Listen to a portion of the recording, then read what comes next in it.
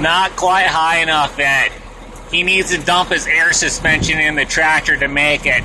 I don't think he realizes that yet.